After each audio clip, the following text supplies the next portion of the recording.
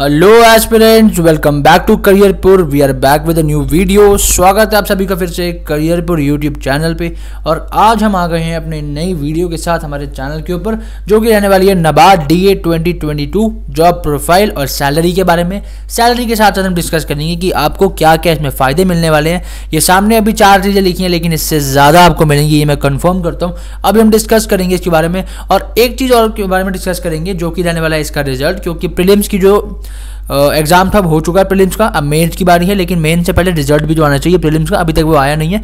अभी हम डिस्कस करेंगे उसके बारे में तो वीडियो को एंड तक देखना। रिज़ल्ट की बात मैंने एंड में करी एकदम। तो वीडियो को स्टार्ट करते हैं। वीडियो को स्टार्ट करने से पहले थैंक यू सो मच मेरी नबार की दो वीडियो आई हैं ऑलरेडी पहले। आप जाके चेक करो उनको, उन पर काफ़ी आपने अच्छा रिस्पॉन्स दिखाया है। लेकिन उसमें लोगों ने लाइक नहीं करा यार। लाइक नहीं करा और सब्सक्राइब भी नहीं करा चैनल को। तो यार, अगर आप वीडियो देख रहे हो प्लीज़ लाइक करो और चैनल को सब्सक्राइब करो ताकि मैं ऐसी नई वीडियो लेके आता रहूँ आपके लिए। डेली वीडियो में लेके आ रहा हूँ। तो चलिए स्टार्ट करते हैं वीडियो को।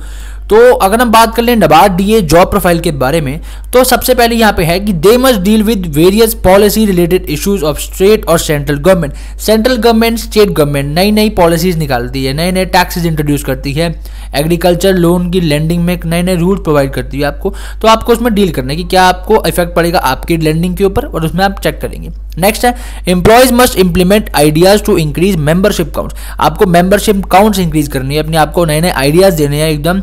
थिंकिंग करनी है कि आप कैसे और ज़्यादा जो फंड्स हैं प्रोवाइड कर सकते हैं और उनको ग्रो कर सकते हैं। नेक्स्ट हम बात करेंगे significant task is to maintain and manage cordial relationship with bank present and bank donors इनके बैंक के जो डोनर्स हैं, जो बैंक के रिलेटेड हैं, उनसे आपको कॉर्डियल रिलेशनशिप बना के रखने हैं। नेक्स्ट आपको अपडेट करना है डोनर का डेटाबेस कि कितनी डोनेशन कहाँ से आई है आपके पास।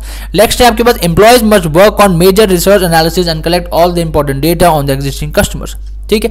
एग्जिस्टिंग कस्टमर्स का आपको डेटा मेंटेन करना है एनालिसिस करना है कि कौन आपको पेमेंट जल्दी करने वाला है अकाउंट की ड्यू डेट्स हैं। बहुत सारी चीज़ें होती हैं, अगर आप जब ज्वाइन करेंगे, आपको पता चल जाएगा इसके अंदर।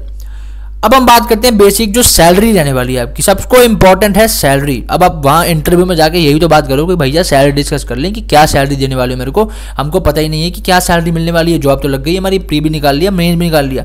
लेकिन अब हम बताते हैं आपको कि क्या आपको सैलरी मिलने वाली है उधर। वहाँ जाके ये मत बोल देना कि, सर सैलरी डिस्कस कर ले।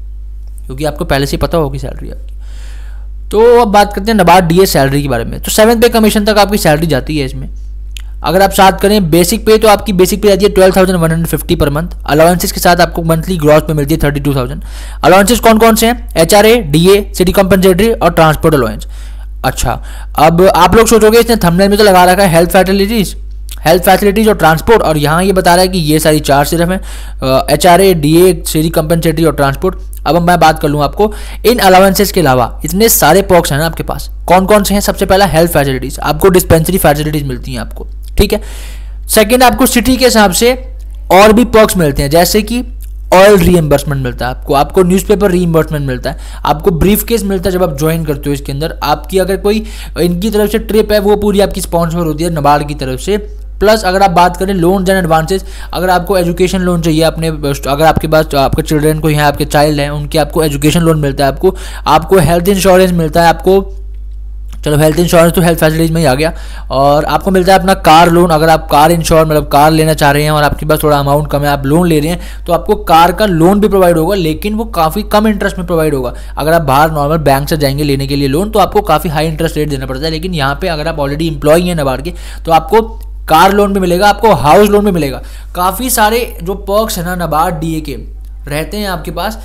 पर्क्स आर बेटर दैन मेरे हिसाब से पर्क्स और भी ज़्यादा बेटर है आपकी सैलरी से। सैलरी तो बेसिकली आपको मोटिव है ही, जो मेन मोटिव आपका प्रिपरेशन करने का है। लेकिन इसके साथ साथ की पर्क्स बहुत ही बढ़िया रहते हैं। आप लोग अगर पहले से ही कहीं भी जॉब कर रहे हैं या नबार्ड के ऑलरेडी इंप्लॉय हैं, आप एक्स सर्विस मैन है, आप दोबारा फॉर्म भर रहे हैं तो आपको ऑलरेडी पता होगा ये बात। बाकी जितने भी लोग नए हैं, उनको मैं बता दूँ कि सैलरी आपकी thirty two thousand monthly gross pay रहता है प्लस इसके साथ आपको रहता है बहुत सारे पर्क्स ठीक है? अब हम बात कर लेते हैं आखिरी बात जो आप करने वाले हैं रिज़ल्ट की। मैंने लास्ट दो वीडियो भी बनाई है रिज़ल्ट के ऊपर।